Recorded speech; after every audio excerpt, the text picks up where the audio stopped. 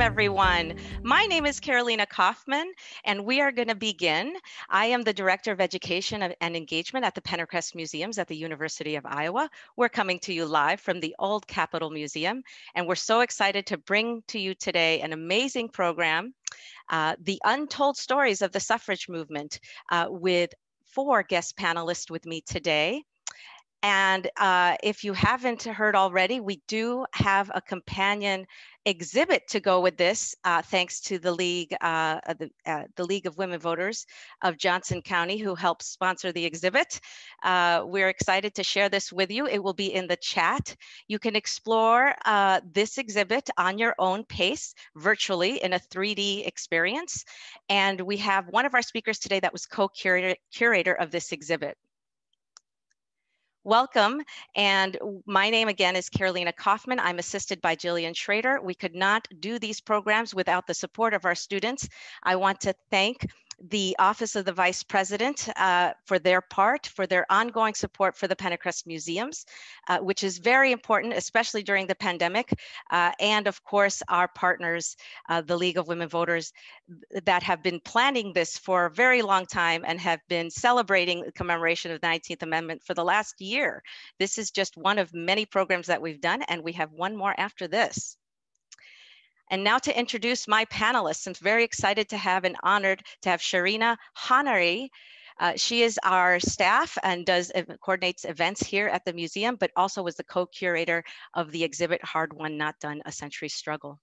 I also have Alexia Sanchez, who I'm bringing back from uh, another panel we did on the Hard Won Not Done exhibit. She's now the executive assistant of Schabel Solutions and a recent 2020 graduate at the University of Iowa. She just recently worked at the US State Capitol in DC, and she's coming to us from there. Welcome, Alexia. I want to introduce to you my friends Diana Henry, a retired Iowa City School District teacher, uh, a longtime school district teacher, and member of the League of Women Voters. We're so glad that Diana could be with us. And finally, uh, not last but not least, Suzanne Wanatee Buffalo, uh, my friend, a Meskwaki Nation member. She will be joining us as well from Tama, Iowa. Welcome, Suzanne. The goals of these session are, are, are multifaceted, but one of the things that we are planning to do today is to really look at women's suffrage and the movement with a hard lens, a hard truth, if you will. We're going to decolonize it today with my panel.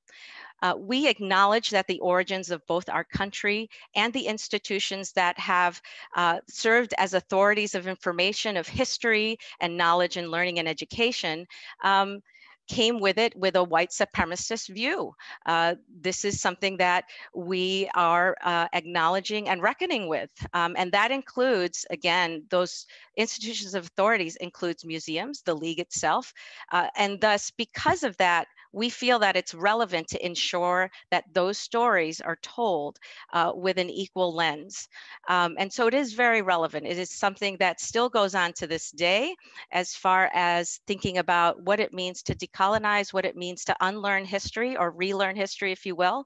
I grew, I certainly grew up uh, in a, uh, you know, in a society where I was learning about history in a very uh, sort of um, uh, just a, a, general review of history. It really didn't get in depth, but now we are seeing multiple lenses of this history, and we need to acknowledge that.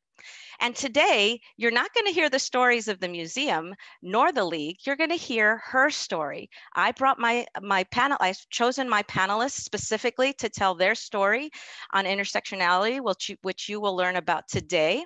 And we hope through their stories and their um, and their lives that you can be inspired. Uh, we are here to celebrate those stories, to celebrate Women's History Month and International Women's Day that just happened two days ago. So we're really excited that this is a very timely topic to discuss. And we're um, glad to uh, be having you today to listen in.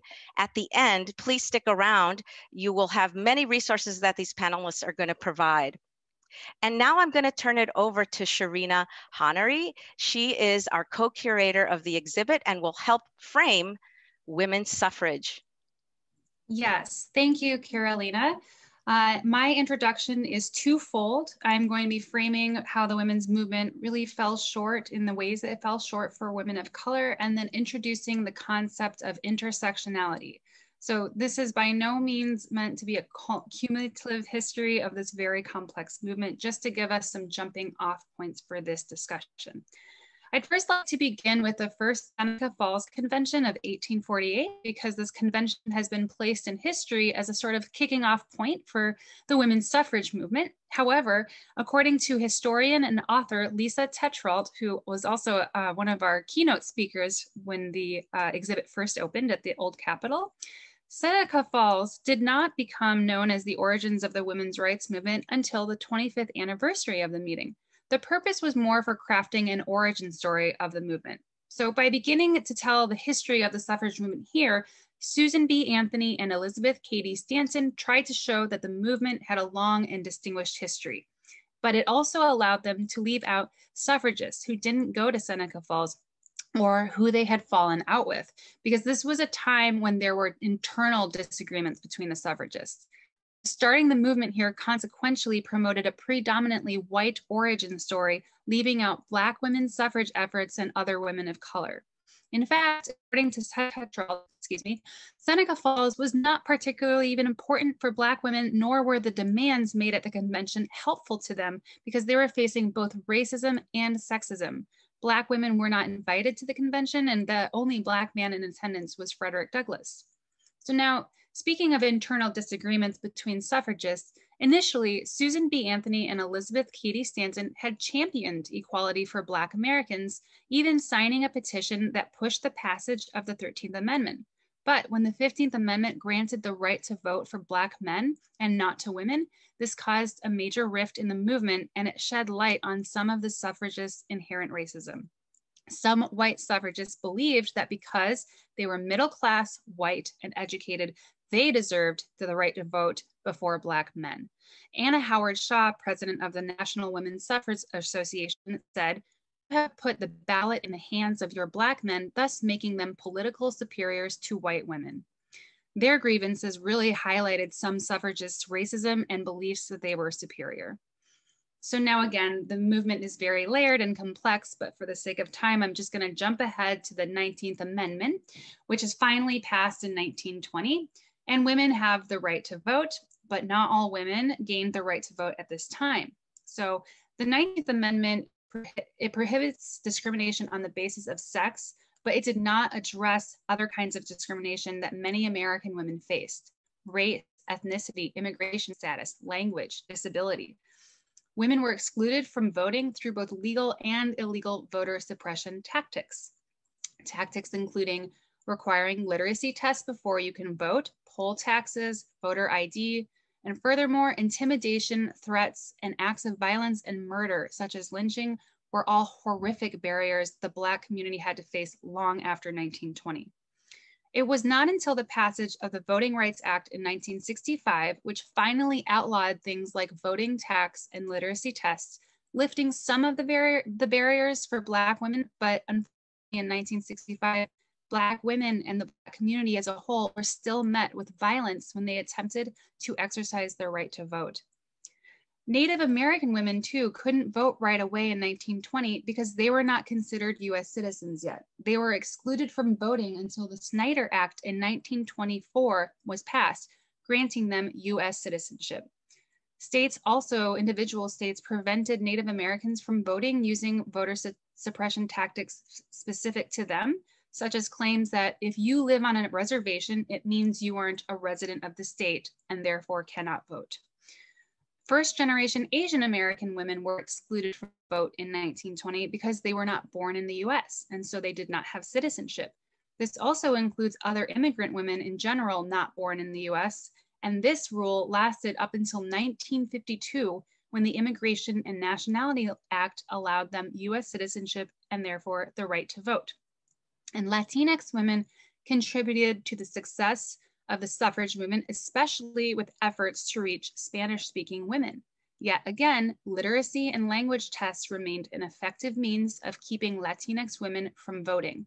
It wasn't until 1975 when an extension of the Voting Rights Act prohibited discrimination against the language of minority citizens. It expanded voting access to women who rely heavily on languages other than English. Language discrimination continues to be a voter suppression tactic in many ways today. So now I'd like to move on to intersectionality just to give a good definition as we move into the next part of the panel. Simply put, this is the idea that people experience discrimination differently depending on their overlapping identities.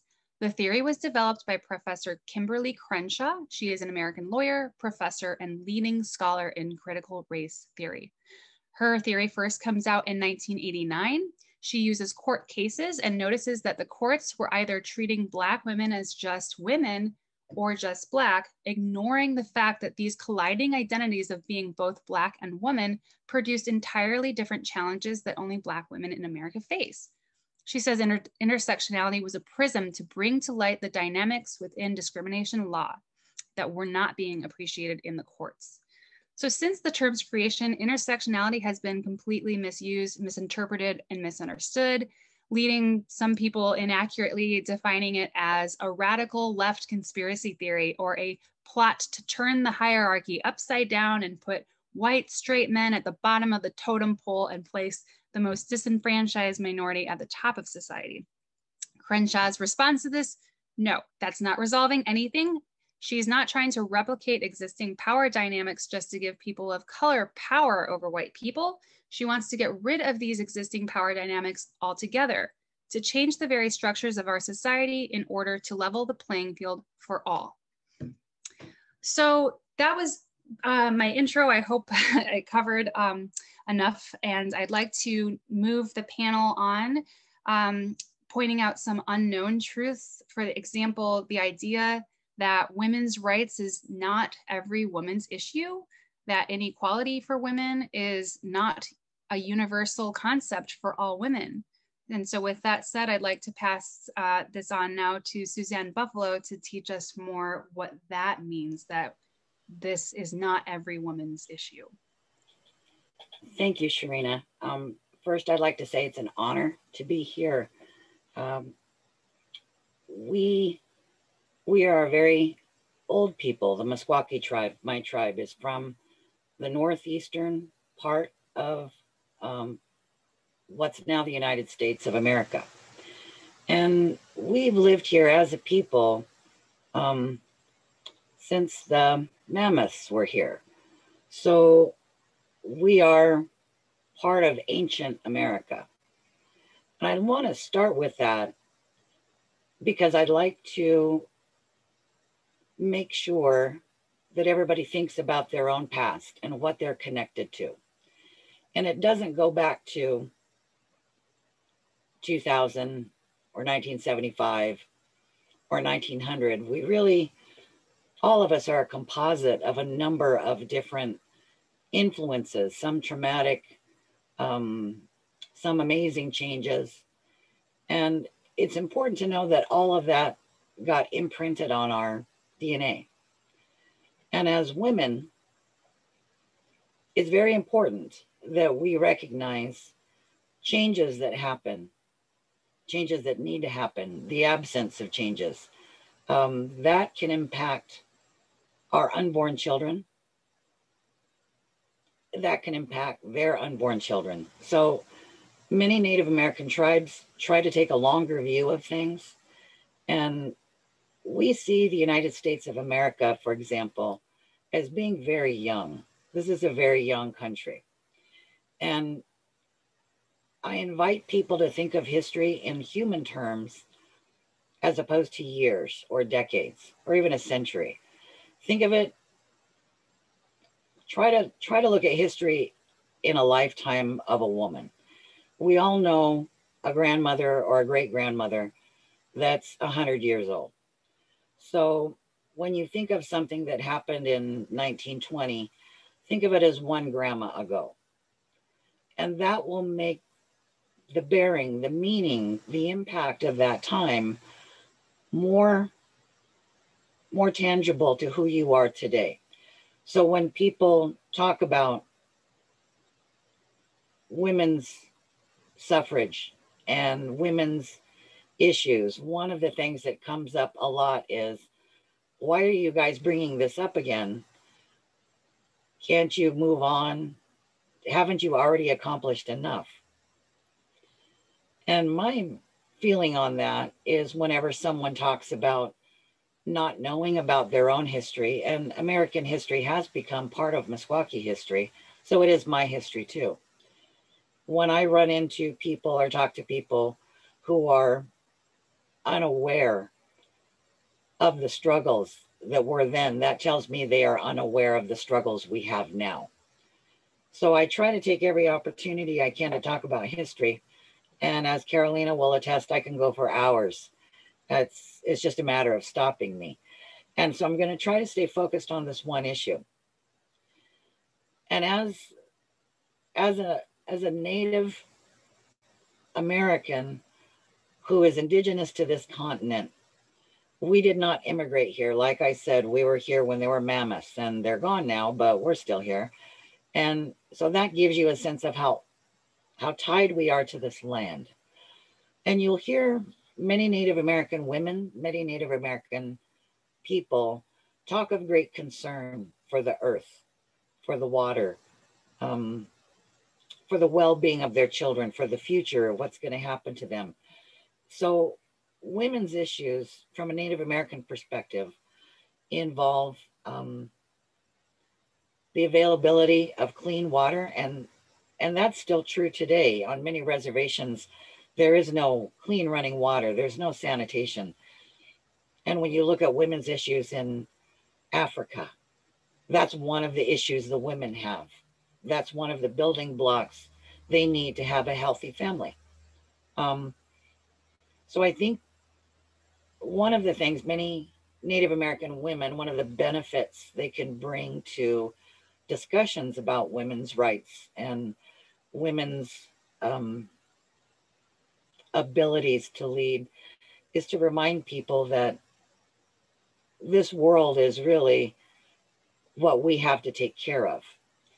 And even if you don't have a, a biological child of your own, most Native American communities have a kinship stronger structure that reaches out beyond um, just our nuclear family. And you see that in America where the, the family has been compressed to an unnatural state of just parents and children.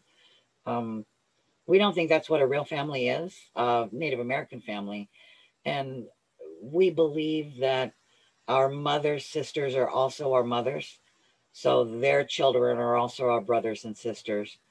Uh, my my culture, my kinship structure, my father's brothers are also my fathers. So their children are also my brothers and sisters. And after a, a certain point, you that starts reaching out and eventually everybody is a grandmother or a grandfather to somebody.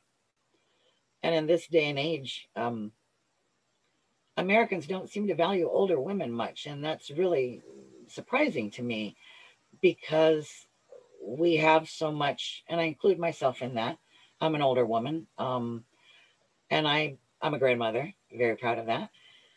And I think we've got so much perspective and so many, so many different values and worth in our own native culture. But when we step out of that two miles away off the off the settlement, we get treated as if we don't have any value in Hollywood or politics. And so I'm really great to hear we've got Alexis is there in Washington and you you stay there. You you do what you got to do.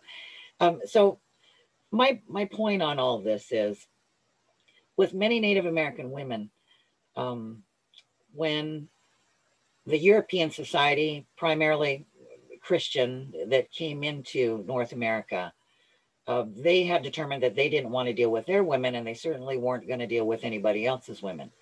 So when the treaties were made between the tribe and the governments, the um, decision makers uh, from the American or British side said, we're not going to deal with any women because the women showed up with the men. We're here. What are we, what are we going to talk about? And there was one instance where um, a military leader told the women they could all leave, but the young attractive one at the end could stay and he'd see he would see her afterwards. So that was what how many of the treaty making processes started. And many of the Native American tribes, the women were stripped of their roles, not because the men relinquished it, but because the incoming European um, colonizers took it. And it was a difficult, when you think of that, you realize the treaties that were put in place and how many Native Americans rely on their treaties to access to um, fundamental rights like running water and food and education. Um, you see the impact by by muting, by silencing the women's discussions and what's good for us, what's good for our community.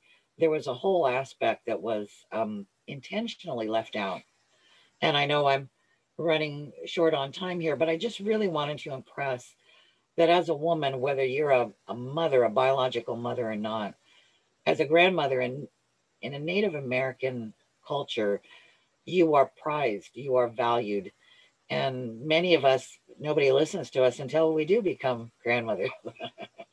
so it's, I want to impress upon everybody uh, how important this is to Native Americans today still.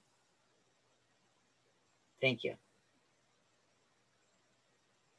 Thank you, Suzanne. That was incredible to hear. And Suzanne has many, many more um, stories and accounts of the, na- of the um, Native American experience, the Meskwaki experience, um, to be more exact, uh, as far as um, the ownership um, and rights to the lands that they currently have um, in Tama.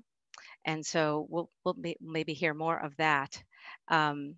we're going to invite the panelists to share an untold story and contribute, uh, continue on from Suzanne's um, co contributions on intersectionality um, within their stories. I'd like to invite Alexia Sanchez to share in her untold story. Alexia, it's all you. Hi, everyone. Um, hopefully my audio is okay. Um, Suzanne, thank you so much for um, that speech and sharing your wisdom. And thank you so much, everyone, for having me today. Um, I actually got goosebumps from just hearing um, all of you speak. So I will actually take my time or my brief time in sharing about Dolores Huerta um, as an untold story or um, not known about narrative that I think is very critical to our history as women, but also history in this country um, and internationally as well. So, a quick bio about her. I could go on hours talking about her, but I will keep it short. She's a Latina. She is an organizer at heart um, and is very well known to be a labor activist and leader um, for many years, many generations. Um, her work has been very much dedicated to the many injustices that occurred in the fields of California to um, Asian uh, people, to Latinx people, to Black folks, um, because they were conditions very similar to those of slavery um, even though she was working in the 60s. Um, the conditions that a lot of these farm workers were experiencing were very similar to past um, experiences in history. So um, in the 60s in California, she joined um, Cesar Chavez, which many of us are familiar with that name. Um, in the movement for farm worker protections and rights because they did not have a defense for themselves. They didn't have a voice speaking for them. And so she, she co-founded the National Farm Workers Association, which is now known as the United Farm Workers Organization. And through that, they were able to um, host and plan out a variety of boycotts and rallies. Um, and I think one really important part to note is that she had the philosophy of making these rallies and boycotts nonviolent. She knew that what they were working towards was a family matter. These were parents, these were dads, these were moms um, that were working to provide a living for their families. And unfortunately, even though her philosophy was to maintain them and keep them nonviolent, they were met with violence from officials and from enforcement. Um, but I think it's also very critical to know that while Cesar Chavez's name is very much well known for these events that occurred, the movement could not have grown without Dolores Huerta, without her work, without her advocacy, and without her connections. And with all of that, she is actually the person that coined the phrase si se puede, which in English it translates to it can be done or yes, you can. Um, something also very interesting is that while her main focus was on um, farm workers and labor rights, she also was a pretty great feminist and tried to bring that to her work and to her connections as much as possible um, as her mo- momentum grew. Now, when you listen to interviews about her, she wishes she could have done it sooner and realized it sooner. Um, but when she was able to connect the women's rights movement to her work, um, it definitely was a turning point. Today, she continues to work. Um, she supports campaigns all across the US on a variety of social justice movements. Um, I believe she just celebrated her 92, 93rd birthday. Um, and she's still out there, which is incredibly inspiring. Um, I'm 23 and my knees are barely working on me, so I give her a lot of pride and a lot of props. Um, and one thing that to bring to the table is that unfortunately her name is not very well known. I did not learn about her until my sophomore year of college. My sophomore year of college. Whereas for Cesar Chavez, I learned about him way earlier. It was very lightly touched. It was not as um, much as I would have liked, but at least I knew that name growing up. And so I still continue to feel that frustration that it took so long for me to know about her, let alone know that she's still alive. She's still with us and she's still working. Um, and I think there's a huge disservice to not only our history, like Suzanne says, like we have to know our history to know where we are now and where we're going in the future. Um, and the fact that many folks don't know who she is and haven't gotten to know her through her work now or through her work in the past, there's a mis- disservice right now. So I think that whenever I get the chance to talk about her, I will. Yeah. Oh, wow. Alexia, thank you so much. This and and you got a chance to meet her, which is yeah. who gets a chance to meet her? Can you can you tell us in just a few seconds where were yes. you? And you're right next to her. That's fantastic. so this actually this photo was taken fall of 2019 during the presidential campaigns that were happening in Iowa. I took a trip to Des Moines from Iowa City and I got to meet her not only once but twice. First at this event, which was a nonprofit that hosted her and then in the afternoon the very same day for another political campaign that she was supporting. So, wow, awesome. that's wonderful. Thank you so much, Alexia. Yeah. And now uh, back to Suzanne. Hi, um, thank you very much. I'd like to talk about my grandmother, Jean Adeline. Her maiden name was Morgan, married name is Wanatee. And I'd like to start this off by saying um, I was at my job working at the tribal center about 15 years ago. And a young woman who worked there came up to me and said she was so excited, so very excited because a newspaper reporter from Cedar Rapids, uh, believe it was the Gazette, had called up and was wanting to do a story on Judith um, Benson, uh, Bender, who is our who's was on the council, still is actually. And he was wanting to do an article on her because she was the first uh, Meskwaki woman ever to be elected to the tribal council. And I'm looking at this young woman who knows me and knows my family. And I immediately realized I had I had failed the women in my tribe because here's this young woman and all it took was a phone call from someone who she'd never heard of before, who worked for a newspaper, who told her that he was going to write an article on the first woman elected to the tribal council. And I felt really bad about that. I'd been busy with family and kids, and a grandkid was on the way, and you kind of get caught up in life. And and I told that young woman, I am so sorry. I am sorry that I haven't talked to you more about this issue, and I should have. And I've, I promise I will keep talking about women's issues because my grandmother was actually the first woman elected to the tribal council.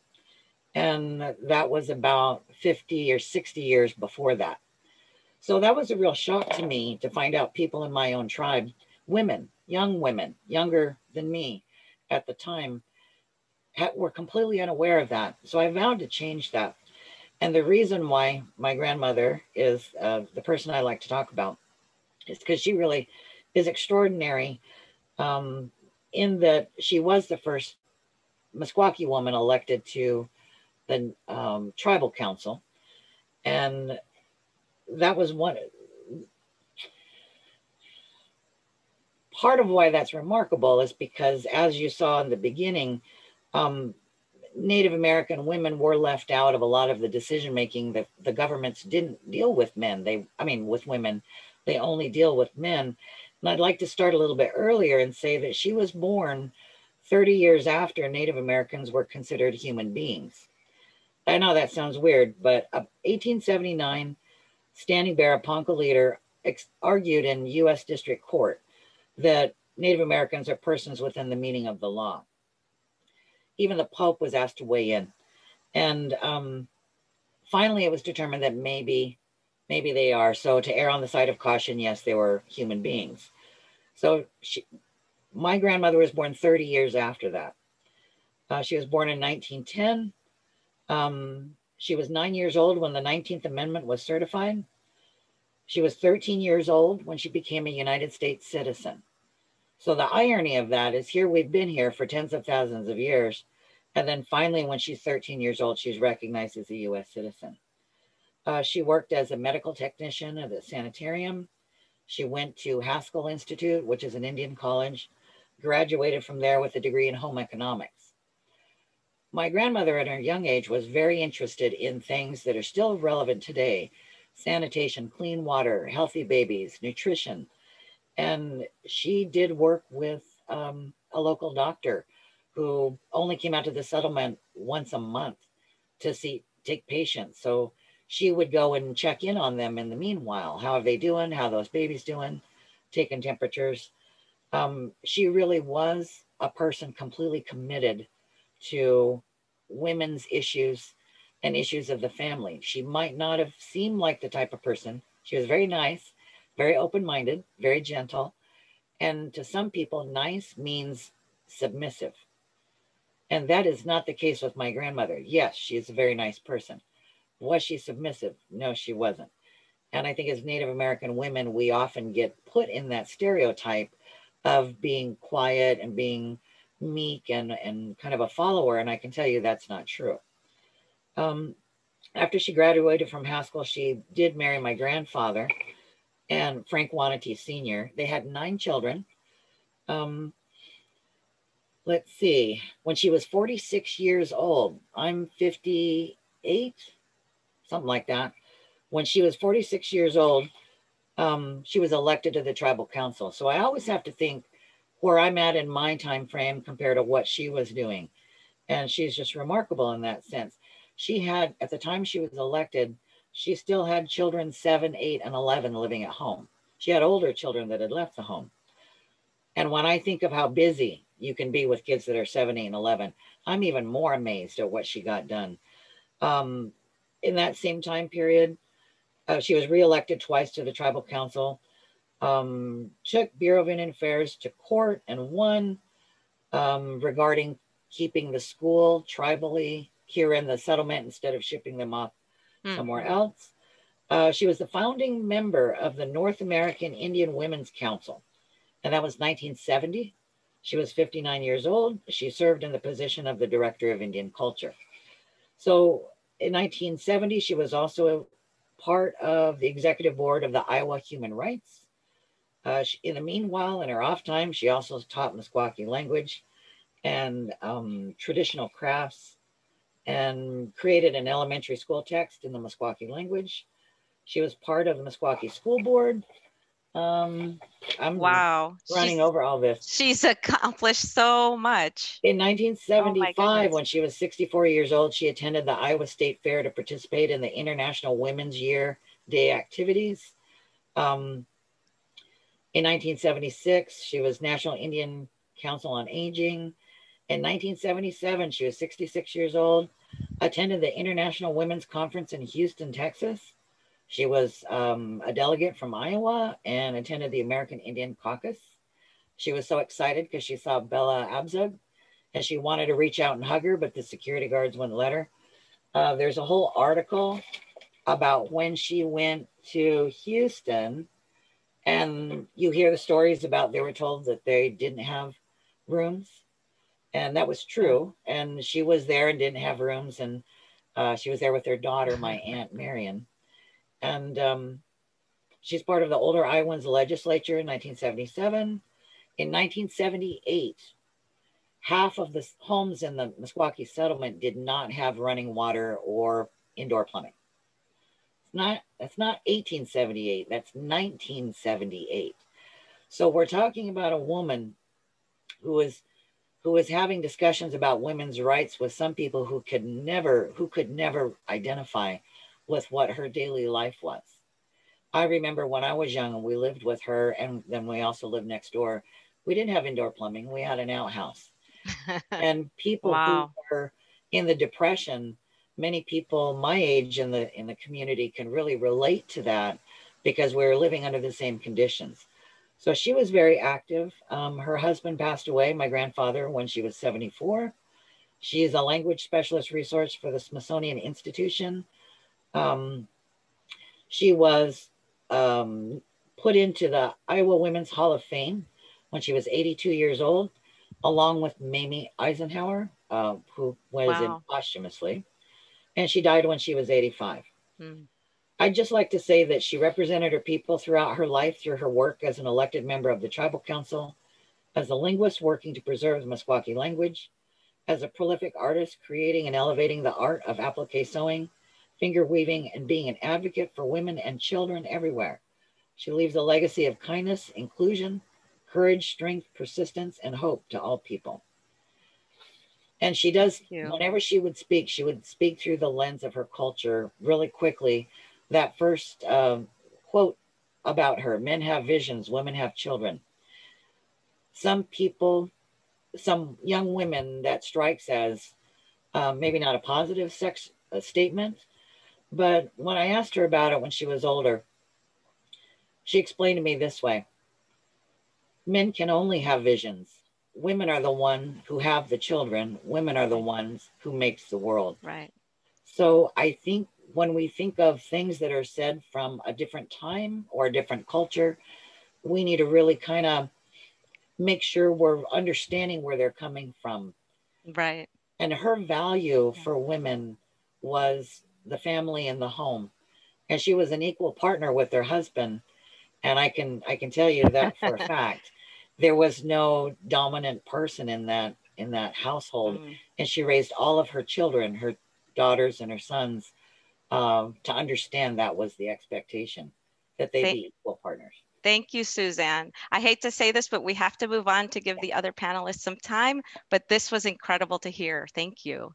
I'm gonna turn over to Shereena to share her story. Yes, and thank you, Suzanne. I love that men have visions, but women are the ones who create the world. So, um, but this, my my person, I'm gonna introduce my aunt. Uh, we call in Farsi Emma means aunt. So my Emma Taher. Um, so my dad arrived in uh, the U.S. in 1977, and just before 1979 hostage crisis with Iran and the U.S and he became a citizen in 1994 and immediately applied for his sister's um, green card. Well, it took 20 years for us to even get a response. And this is because there are these complications between Iran and the US that placed major barriers.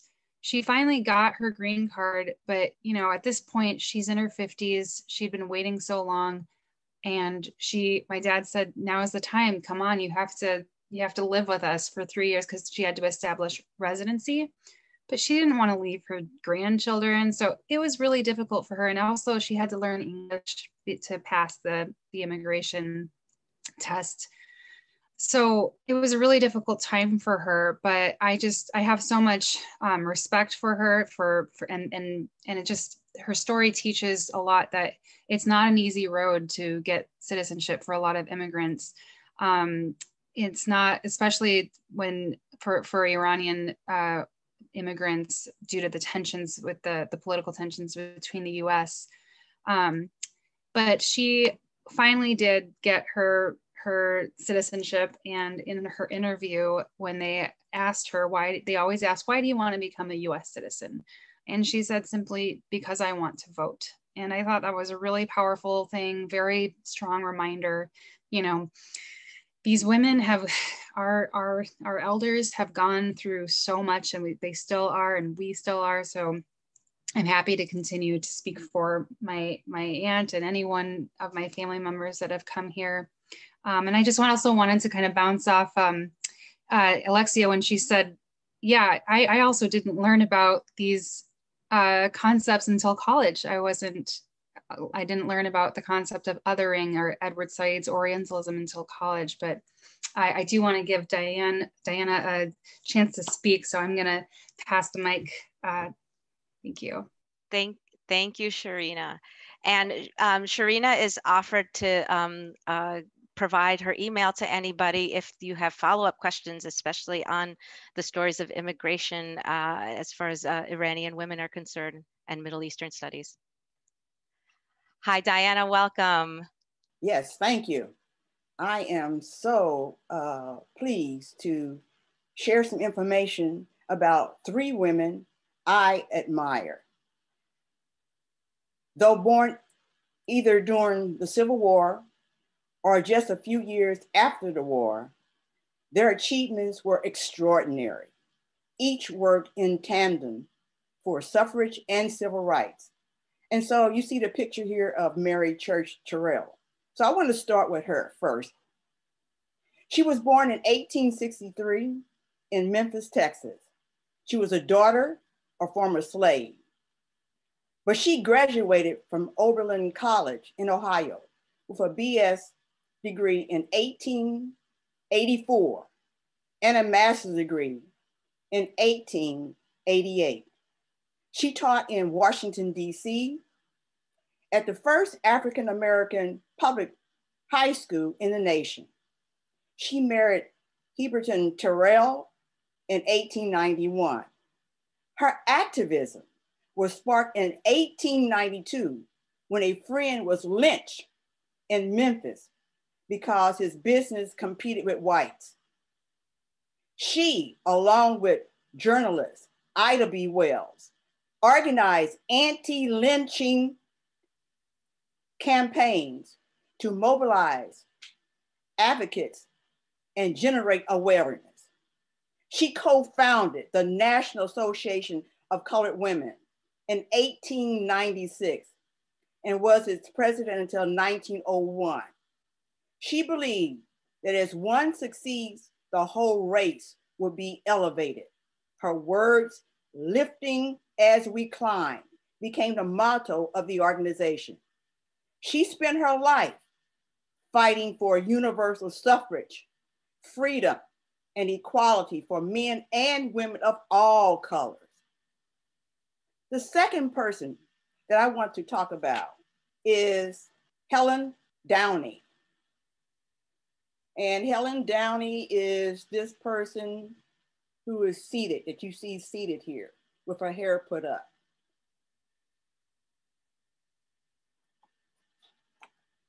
Helen was born in 1874 in Ottumwa. Her husband was Russia Downey. In 1902, she founded the Iowa Federation of Colored Women's Clubs. And as an aside, in 1910, the Iowa Federation of Colored Women Clubs united with the National Association of Colored Women, which Mary Church Terrell had founded. In 1903, Downey, under Downey's leadership, eight clubs were established here, right here in Iowa. And there were more than 100 members. The association had an active suffrage committee. In 1919, Downey spearheaded a project to secure housing for African American female students who could not live on the University of Iowa campus dormitories. With her initiative, the Iowa Federation of Women of Color, they purchased a house at 942 Iowa Avenue, right here in Iowa City, for Black female students. It was known as the Federation House. The last person I want to talk about is Sue Wilson Brown. And she's the woman that you see with the uh, necklace, the pearl looking ne necklace. Now, she was born in 1877 in Virginia, but her parents came to Iowa and she was reared in Oskaloosa, Iowa. And her husband was lawyer Joe Brown. She founded the journal titled The Iowa Colored Women, which was the literary arm of the Iowa Federation of Colored Women's Clubs in 1907. And she served as the editor until 1909. She was the president of the Federation from 1915 to 1917. She worked with Helen Downey to acquire the Federation House for those African American female students to live in that place in Iowa City. And coincidentally, she founded the League of Colored Women Voters, August 1919, in advance, in advance of the Iowa League of Women Voters formation on October the 2nd, 1919. Finally, you can see that all these women were connected with the National Association of Colored Women. But what might you, as do their experience, mean to me? Well, they realized that even within a Jim Crow environment, they could still organize and strategize as a group to bring about educational, economic, and civil rights changes in the African American lives. Thank you. Thank you very much, Diana. I, I, I hear lots of applause out in out in the web there and uh, and here on the Capitol steps. Thank you very very much. Very powerful to hear. We did not grow up with this, unfortunately, but this is not where it ends. We have the opportunity to learn more. All of the programs that we do, at least the ones I'd like to do, um, and in collaboration with the league, it's a stepping stone. This is meant for you to take from here and learn more. Um, and so I'm going to provide very briefly just a summary of the many, many different resources that all of our panelists have provided. Um, my assistant is going to put in the chat a Google slide that is available to everybody of, with all these resources. So I am not going to go for, through each resource. You will have the chance to explore the resources that you want. They include from Diana Henry, many, many books, including books for children, which are wonderful to have. Um, please look at that. Um, and then also um, uh, from Shereena, uh, many different websites, links, and of course, uh, one book, Persepolis, which has a movie. I recommend it highly. If you have teenagers at home, this is a really good one too. Um, and of course, from Suzanne Wanatee, the Meskwaki Nation has a wonderful pamphlet. If you want this pamphlet, she can send it to you directly and we can share her email. And of course, a few books and links. And uh, also Shereena provided some additional information about intersectionality. And then my own little contributions, including this amazing book called Mass Mothers of Massive Resistance. The reason why I chose this book is because it's about white women at the time of both Jim Crow and on through the 60s and the politics of white supremacy. Uh, and it's very, very fascinating. This woman did an incredible amount of research. I highly recommend it, among other teaching resources that I highly recommend to learn about the women of color during these times. And now I want to open it up for conversation from the audience. I'm going to stop sharing here. You are allowed to put a question in the panel. Uh, I have my assistant monitoring that, and you can also contribute a question in the uh, um, both the chat or the Q&A. Uh, do we have any questions? Let's see. Jillian, would you like to highlight any questions that we might have? So we've gotten one question from Kay Meyer. She said that she learned about Dolores Huerta from documentaries on PBS, but it seems that only people who look at those certain resources get that education. So how can documentaries and other um, really important sources get wider viewership? If any of you guys have ideas about that.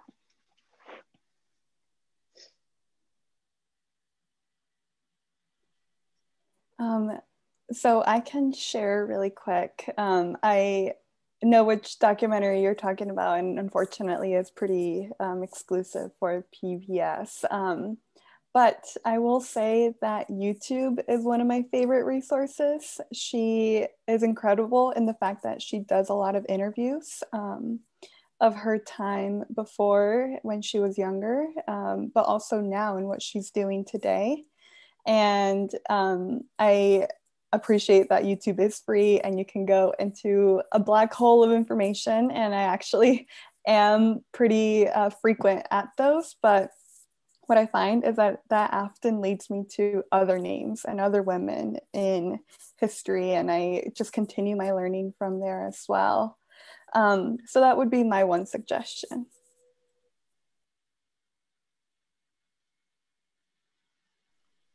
Thank you. Do we have other questions coming in? Um, we have one question and comment about Shereena's aunt. She says the story about Shereena's aunt was beautiful. I wonder, are Iranian women not able to vote in Iran?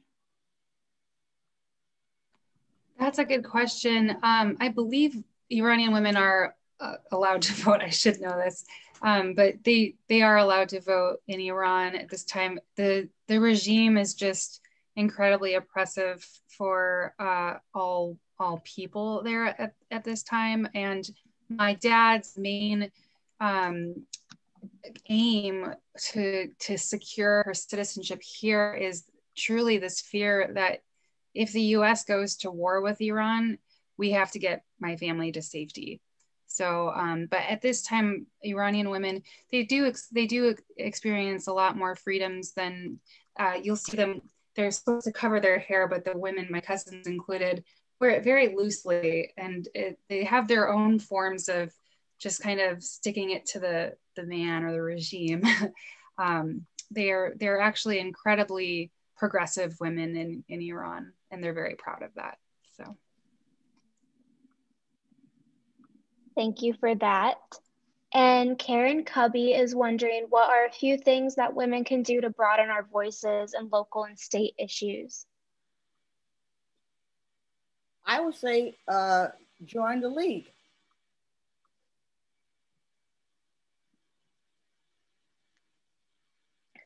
A great and simple answer. Thank you, Diana.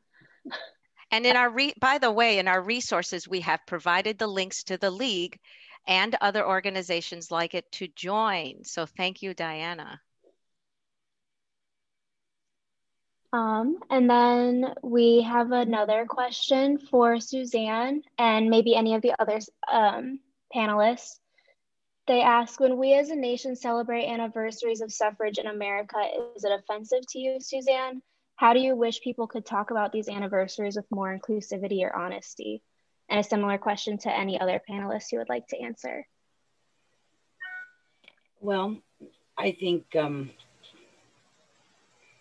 I think it's important to recognize history. And I think we need to be careful that we don't filter the history we don't like out. Um, we think all of all of the events that happen build towards something better. And I I think opening up things like this, opening up the dialogue, and thank you, Carolina, for thinking of what the experiences were for other uh, groups of women in the past, but also that brings it present. And I think that the more as women we insist on having um, access to discussions and programs like this, um, the more we can build on um, the future and how we celebrate things then.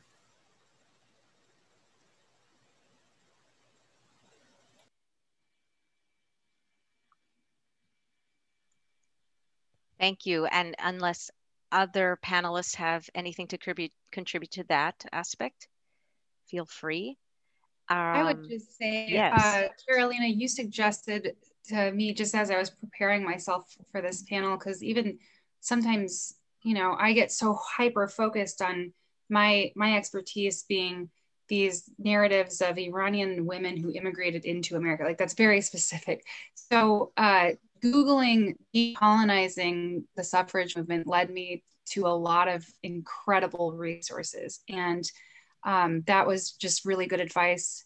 I would also say, if, as Diana suggested, join the league or volunteer if you can talk to an elementary school about your story. Just see if you can talk to teachers. They they want people like us all the time to give our story because that is how we break these um, these uh, you know barriers to to education and and and highlight our history where and you know and move it away from the the dominant the predominant history we're trying to change the story to shed light on these important stories the other thing i would add is that people start visiting various uh, ethnic museums. You got uh, Native American museums, you got uh, Latino no, museums, you got African American museums, you got Asian museums. Visit these museums. They're out there, uh, they're welcoming, they got all kinds of activities for adults and children. Visit museums.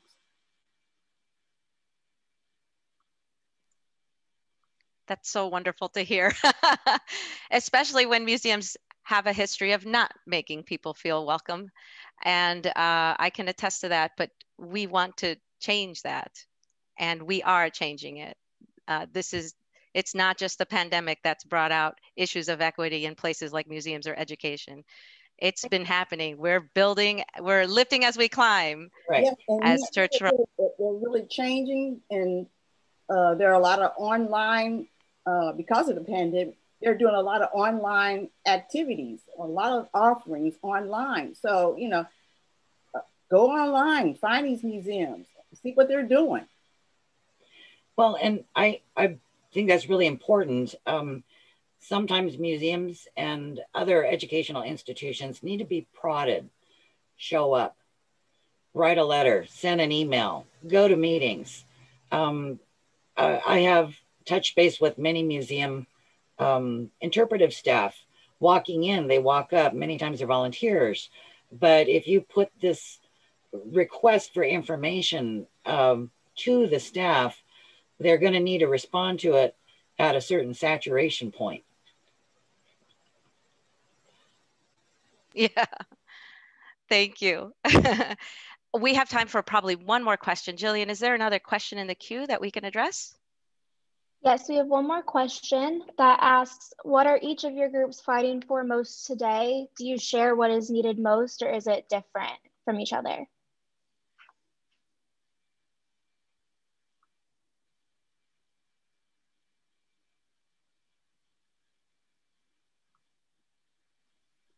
I can share really quick. Um, I don't know if it necessarily um, touches on your question, but I think one really big thing that I take into consideration with the women's movement and the different identities and how they intersect is that there very much is a need for unity and for harmony. Um, my struggles can be very similar to another woman with different identities, and they can also be very different as well. Um, and making sure that we are harmonizing that power and that spotlight and that um, attention when needed I think is very critical. If we're all going to move forward in the future, we have to recognize when it's time for us to step up, but also when it's time to elevate another voice and elevate their struggles and their needs as well. So I think this past year in 2020 showed that there there is a demand and a need to showcase different voices when they are being oppressed or when they do need that voice and if I have a platform and if I have a voice to elevate that, then I should. Well, I will concur what you said and what all the panelists have, have said. Um, you need to, um, women need to make, make sure that they stop worrying so much about the, the, what's happening on their, how they look outwardly and focus on what's in their hearts and in their minds and and and and make men understand that there there's more worth to women other than just how they look physically. They have so much more to offer uh, to uh, the community the nation Thank you. I, I, want the other panelists to answer this question, but I want to be mindful. It is one o'clock, and I do want to share momentarily between answers. Thank you so much, Diana. Um, just real quickly, that um, if you are enjoying this so far, and we hope you have, um, we want to again thank our sponsors and supporters and partners, the League of Women Voters, the University of Iowa Center for Public Policy, the Gazette, the Iowa City Press Citizen, and of course, City Channel 4, who has streamed this live. We have an upcoming session, which we will send out to all registrants uh, so that you can sign up for next month. It's called Salute to Iowa Women Politicians. So please come back for that. Um, I'm, I'm going to allow the panelists, if they are willing, to stay for a couple minutes to continue answering their questions and, um, and, uh, and invite anybody um, to stick around if they'd like. But if you have to go, we understand. Um, so I'm going to stop sharing this and again, um, allow people to continue answering the question.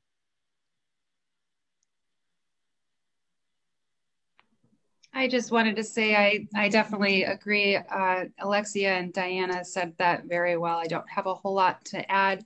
Um, one thing that really struck me after the after George Floyd's murder, um, Hasan Minhaj is a uh, comedian. Um, he is, I believe, Indian and Muslim American, uh, and so you know his his identity intersectionality like I can relate from the Muslim community side, immigrant side, but um, but he also is very different from me. And th- these things are important to remember that th- these experiences they do matter, that they're different. But he called out. He said, "All of you guys, I'm calling out to the immigrant community. When George Floyd was being killed, it was in front of storefronts owned by immigrant um, Americans, and they did nothing." So he he used that platform. And i think that's where you know that's what the what intersectionality is kind of about. Sometimes it's very specific but other times you can use your platform to talk uh, to your community and call them especially when your black neighbors are in need of help. That's when you corral your community and say we need to do something about this